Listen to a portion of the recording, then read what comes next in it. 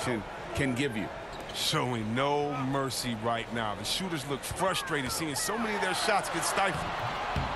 In the hoop for his third make from the field. He's three for four thus far in the contest. Inside Davis has the upper hand. His height makes getting to his shot that much easier. To the paint. Here's Parker. White wide open. He fires. Coby White.